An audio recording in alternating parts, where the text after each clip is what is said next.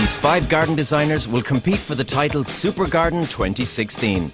To win, they will each have five weeks to design and create a unique garden that proves they're ready to join the best of the professionals. The winning garden will be recreated at Ireland's premier garden show, Bloom, and will be representing Cuprinol and Woody's at the festival.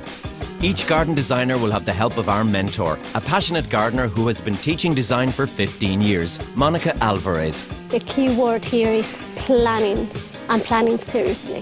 Five garden designers, only one will make it to bloom. The third designer to take up the challenge is Rachel Gerard. From Dublin, Rachel made a big career change five years ago. I was a legal exec for about 17 years and I had the opportunity to study horticulture at the Botanic Gardens. I loved it, so I decided to do the degree. Rachel has just completed four years study with the Botanic Gardens on Blanchardstown IT. I've picked up some practical skills and a lot of theory on the way. I, you know, have a good plant knowledge and I'm now hoping to combine all that now with some creative flair to create a show garden. We've selected this almost square back garden for Rachel in Tyrrellstown, West County, Dublin, belonging to Franco-Irish couple Tony and Laura, who have turned the house into their dream home. But sadly, everything dies in the garden. It's upside down now, isn't it? Upside down and inside out. Uh, we have a half-dead maple tree and, and a non-functional veg patch. Um, so yeah, it, it's a perfect space to um, ignore. I'd love to be able just to turn my head, look at the window and say, wow, that's my garden. But now it's like, oh no, that is my garden. We'd like a garden that we can relax in, something that's easy to maintain, yeah. um, a nice space where we can sit out and enjoy, but also where Sophia can wander around the plants and, yes. and that we can relax. Um, did I say we could relax? Yeah. Tony can certainly relax, but Rachel will have to keep her eye on the prize. Her budget is 5,000 euro with free hard landscaping. The design must have impact if it's to be recreated at Bloom. I would like to create a cottage style garden but in an urban setting.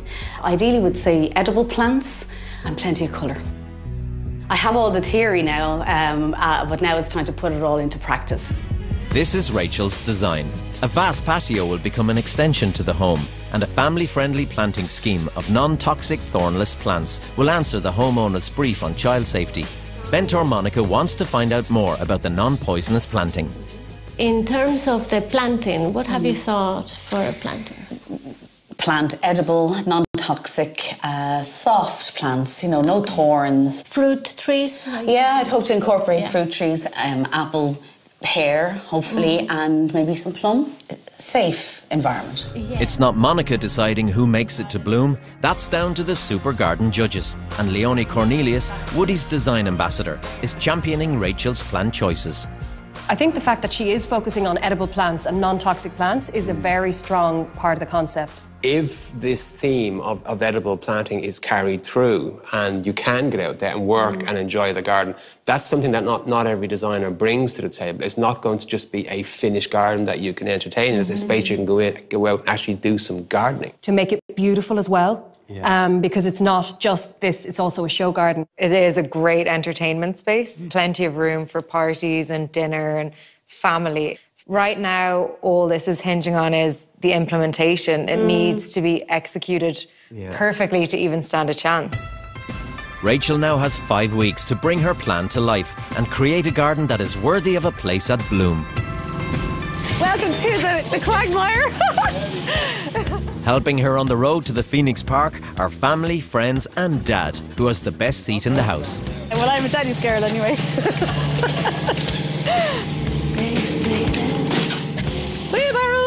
Vroom, vroom. No. no, no. The discovery of two mature, non toxic bushes gives Dad a well earned break, and Rachel something off plan to consider. I was going to take out this viburnum, but I think actually I might leave it. I mean, it's, it's perfectly healthy. And that one as well. Again, I might just cut it down, neaten it up, but I think they're salvageable. Yeah think they live another day. Yeah, we won't kill you right now. Now, just kind of hold it, balance it. Now just go with that, lad.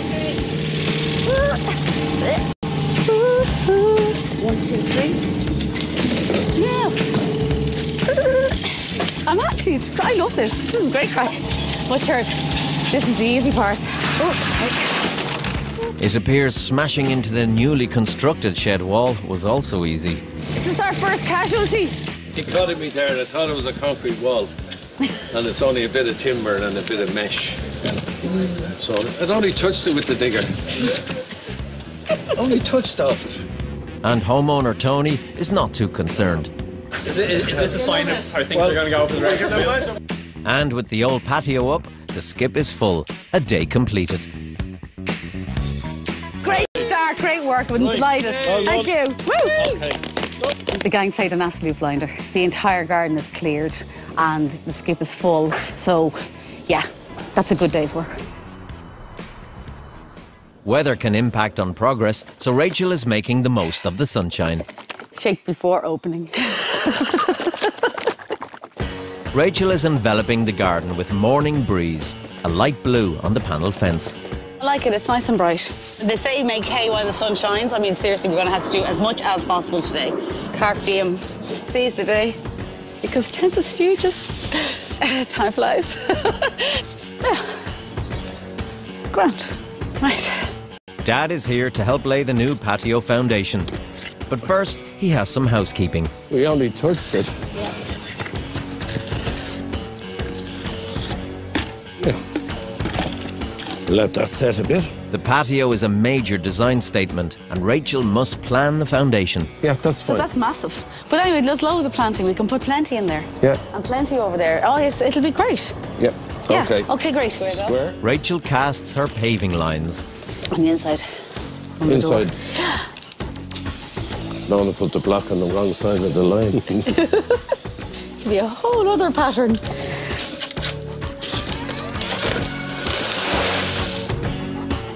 Also being painted is the shed door in a popping sweet Sundae.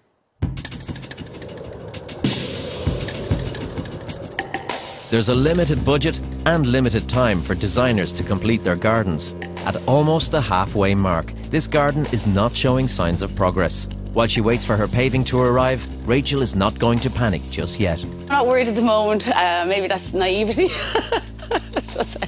no, not worried. I'm sure it'll be a complete panic attack at the end, but I am known as uh, lastminute.com, so that's okay.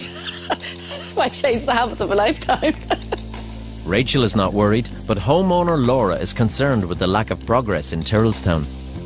I see the garden now, I'm just I know, yeah. terrified the deadline going to be gone I know. and I am nothing too. will be there. and sound I good, will finish with a not super garden. No, no, it now Um, looks worse than it did at the start, and I've actually wrecked your garden. But it will be beautiful at the end, I promise. I trust you. I trust you. Well, you better be good. better be Do good. Oh God. Ooh. Yeah, I know. No Yeah. pressure.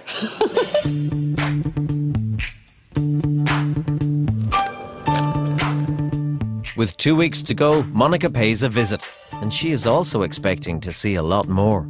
I, I didn't know what I was going to see today, but I was hoping to see more. Mm-hmm. You know, mm-hmm. like I, mm-hmm. I, I don't see even one third of the garden being done, Yeah. and we're halfway. So that my maths, you know, what's Yeah, I'm aware we're actually um, behind schedule. here now. Yeah. It would kill me if I didn't get it finished. You know, I would hate to think that I would leave a, a garden half done and not um, complete it. We'll all have to pick up the pace and uh, really get cracking at it now. Yeah. You know, um, my nickname is uh, Rush Hour Rachel. So uh, I do tend to, you know, there's a big spurt at the end and it's done. But I, I, I yeah, I'll get it over the line. You also planned on the shed Yeah. To have herbs, and what Yeah. way is that going to work? How are you going to hang that? Or? Yeah. Um, well, I, my original plan was to have some kind of shelving that you'd have troughs of herbs. Now, I might just be able to get troughs attached directly onto the wall. Okay, when I you're saying might, that means you still yeah, haven't seen it, you still haven't Yeah, I haven't seen uh, the. made a solid decision. No. It probably is true to say that Rachel does not have a plan or a schedule. This seems to be happening to you. Mm. You have a lot of mites. Yes, that's a lot of mites and not a lot of... Okay, so maybe from now on it's going to have to be I will, and some just a solid decision that I will have this. There appears to be a lot of doubt on what's going to happen next. There has to be a plan. I hope you have nocturnal lights. Yeah, burning the midnight oil. Yeah, I think we'd be here till yeah, we'd be here till all hours. All right. But definitely the key word here is planning and planning seriously. Coming up, Everything is last minute. Oops. there's a dash to Rachel's photo finish, but it's not without bumps along the way. And the judges arrive. There is one plant that is actually poisonous.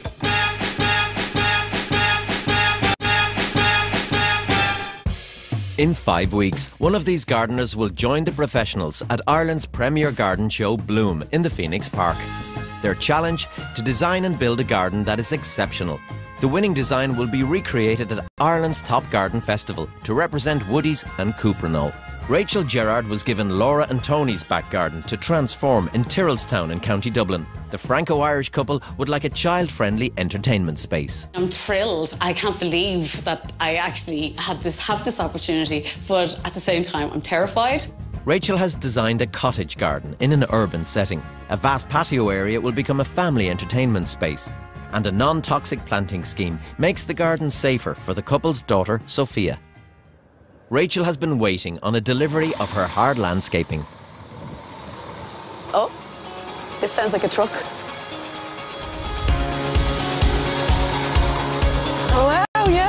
Patio area takes up almost 40% of her design, so progress cannot happen without it. Oh my god. And today is her red letter day. It's like Santi's arrived. wow.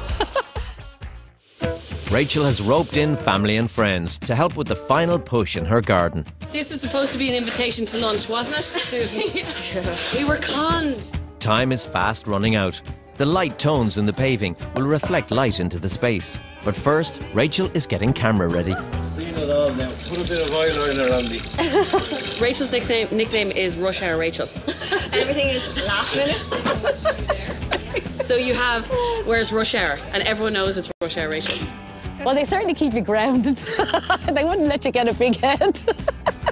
This year, the designers have an added challenge of taking an interior item and bringing it to their outdoor space. Rachel found a mahogany coffee table in Oxfam, and it's getting a new lease of life with seagrass. Also on the list today, trellis. but I just want to hide next door's shed. And also, it's uh, a medium for the plants to grow up upon, you know? Just cut that. We'll just look narrower. Or just make that piece narrower. I have to shorten the trellis to make it fit. Oh, feck. it's not meant to be a pantomime, really. This is a family garden, and Oreo, Laura and Tony's rescue dog, is loving all the attention. Power tools, very sexy. Charlie's Angels. That's good, that's good, that's good. Oh, round of applause. Great. It's times like this when you really find out who your friends are and they really they come out and they support you and they're there for you.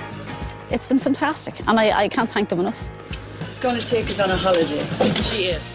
Oreo approves of the new patio. A key part of Rachel's plan is to have a garden full of non toxic plants, making it safer for children. I want to create an edible garden with culinary herbs and some colour as well. So if they're not edible, at least they will be non-toxic. Put a lot of thought into my choice of plants. Foliage, bark, all those things I've considered so that when you look out the window or you're out in the garden at any time of the year, there's something interesting to look at. The garden seat is moved into position, and last minute Rachel is proving herself in the final hours. Each stage, you have to tick it off and uh, now we can move on from that then. All the, the little pieces of the puzzle are coming together. And It's going to be gorgeous. she says very confidently. One week before the judges arrive, mentor Monica is back on planting day, and she's got a trick to get things rolling. Very good. Right, okay. Very good. Let's, let's go home, babies. Red bark cherry is going in. What Yeah. give a bit of canopy as well for from the house, so it's great. the grass is going to get destroyed. Ah, sorry, I'm just wondering because there are two that they might be better if they frame the One view. each side? One each side. Oh, jeez, careful. There? Yeah. That might be a bit more balanced, no? I like it better there. Yeah. Maybe one at either side of the of this little triangle, what do Yeah. you think? Oh, that's fun. You feel about Okay. it being here instead. That is better. That is better. that is better. Yeah. yeah, yeah. I'm relieved to tell the truth. We have a cherry, we have a pear, we have a plum, we have two married apples. Yeah. And with the basic structure of the trees planted, Monica's work here is done. But her dance card has one more name on it Mr. Cherry Tree. Let's tango. Da-da-da-da-da. Da-da-da-da-da.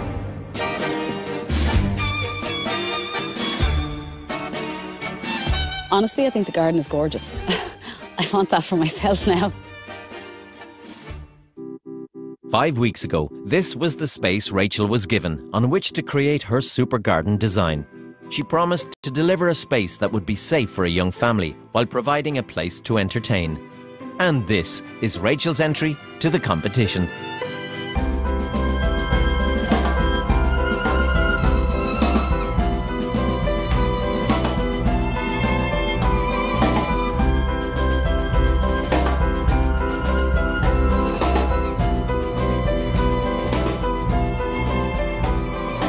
I really want this garden to go to bloom. I'm extremely proud of it. There's a lot of hard work and effort went into it. I hope that they, they can see that there's been a good attention to detail in terms of quality and finish. Creating this garden has been an incredible experience and whatever the future holds, the future is bright. It's assessment day, and the judges are making their way to Rachel's garden. I would love to recreate this garden in bloom. What a way to start your career as a garden designer. Leonie Cornelius, Roisin Lafferty, and Gary Graham are here to inspect every element of the design to determine if this is the super garden that will go to Bloom 2016.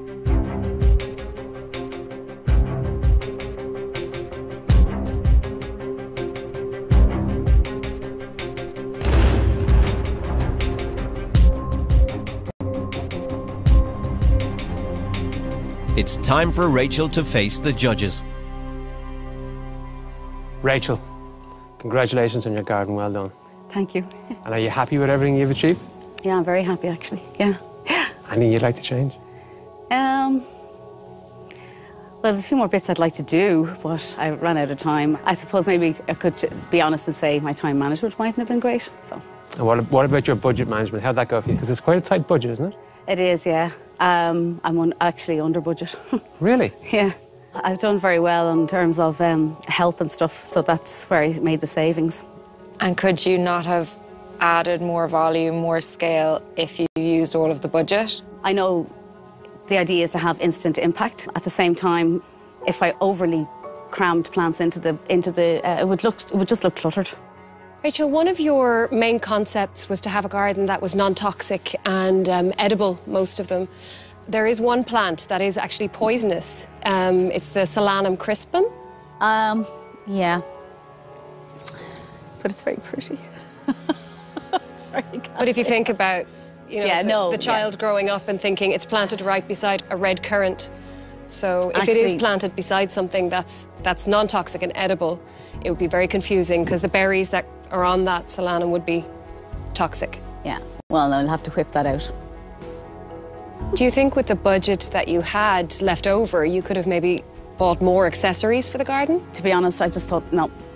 I keep it simple. It's it's not it's not adding in any way to the design, and um, there was never going to be a mirror ball in this garden. You know, I'm not going to have um, uh, that kind of thing. Um, I leave that to other designers.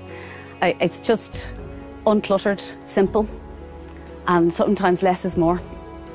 Less is can definitely be more, and some of the best designers base their whole designs on minimalism and absolute perfection. Do you think you've achieved that? Well, I can't say it's perfect, no. um, but I, I did try and keep the lines as, as sharp as possible. Um, but uh, no, perfect, no.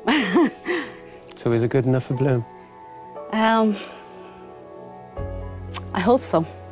But uh, yeah, I think, well, yeah, I think it is good enough for bloom. Yeah. So, what are the big impact, the big wow factors in this garden that would make this a show garden? Well, I think the, the design of the patio, the planting, um, obviously I put more planting in uh, for impact at bloom. But um, overall, I think the garden itself is the wow factor. Rachel, well done on your first garden. You did a great job. Thanks very much. Thank you. Thank you very much. Overall, I think the judging went quite well. You know, they made some valid points and pointed out a, couple of little criticisms, which, you know, are probably fair enough.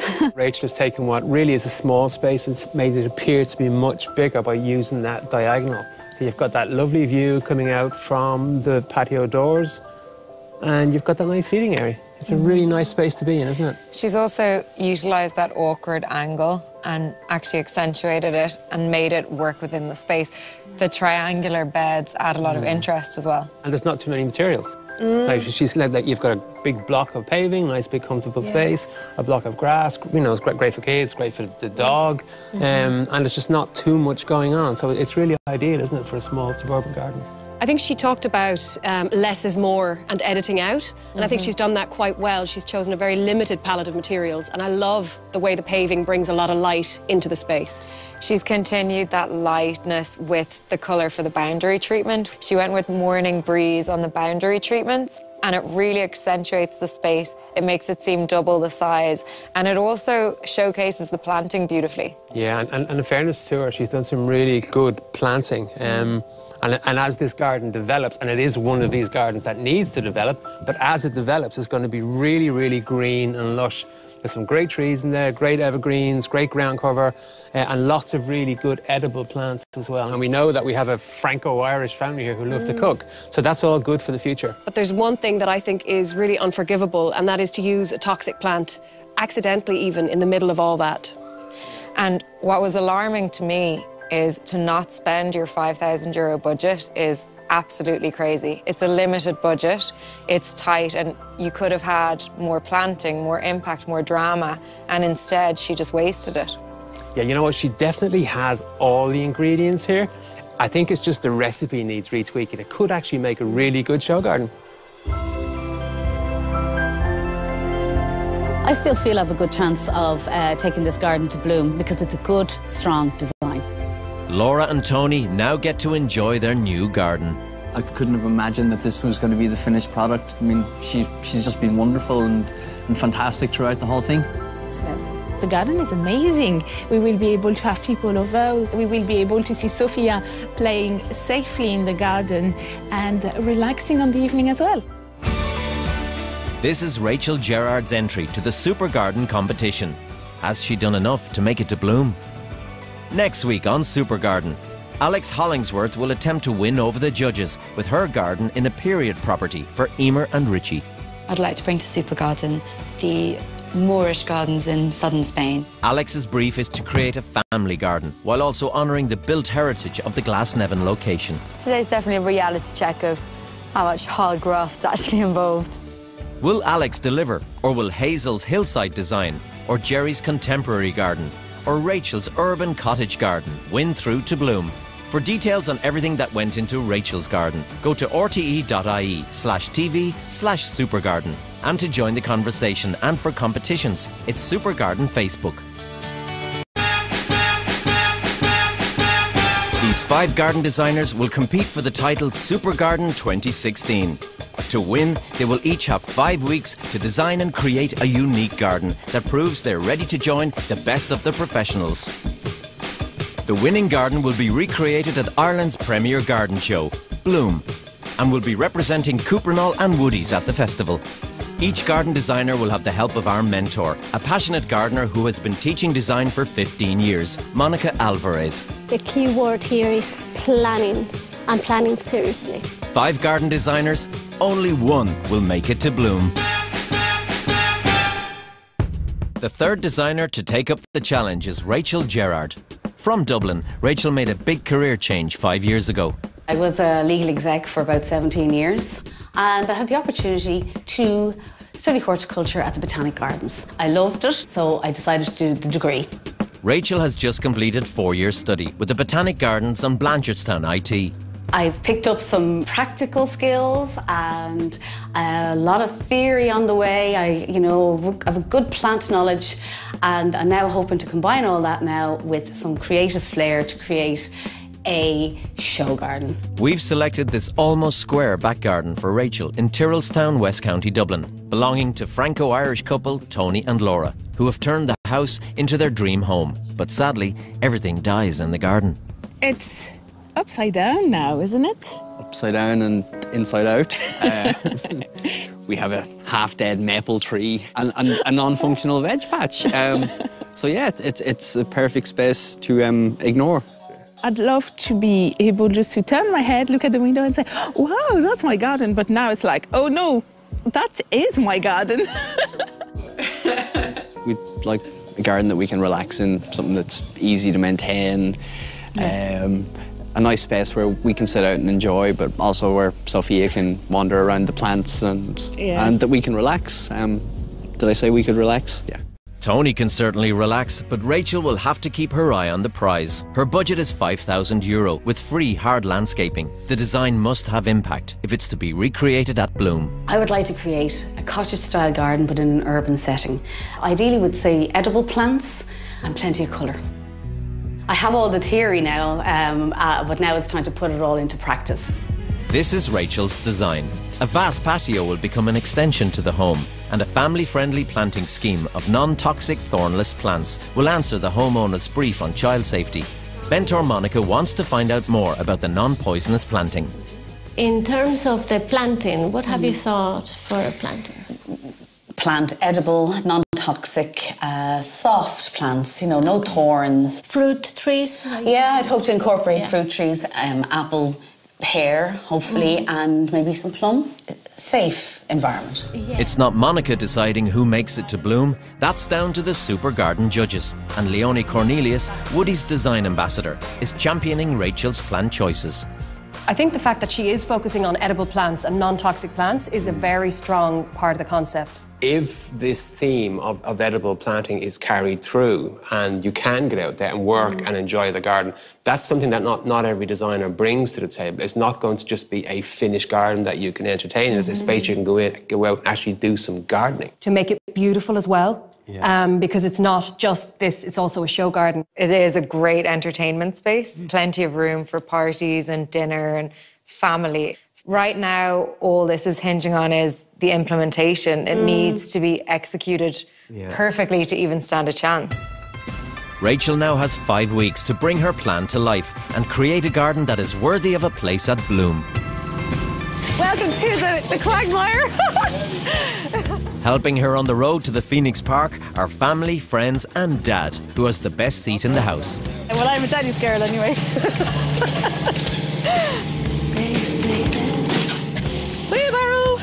Brum brum.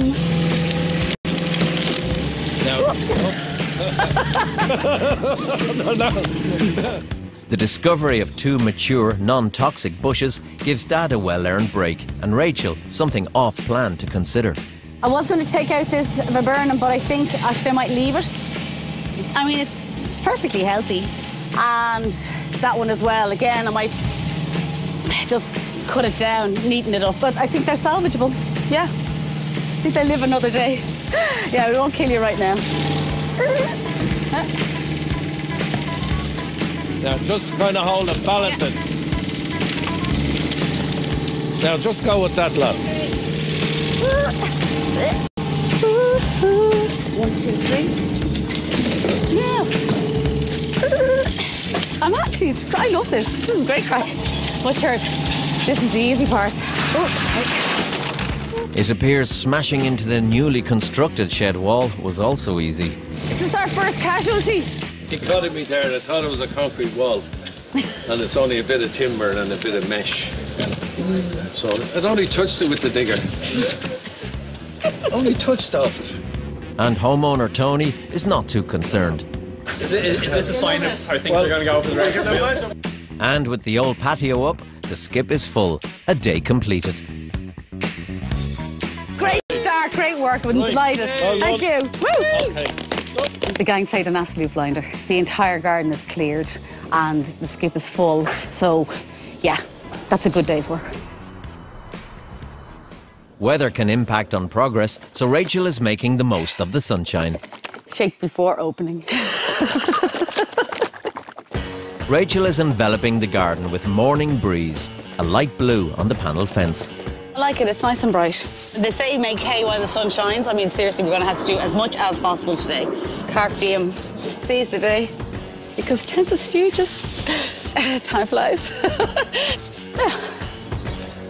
Grant. Right. Dad is here to help lay the new patio foundation. But first, he has some housekeeping. We only touched it.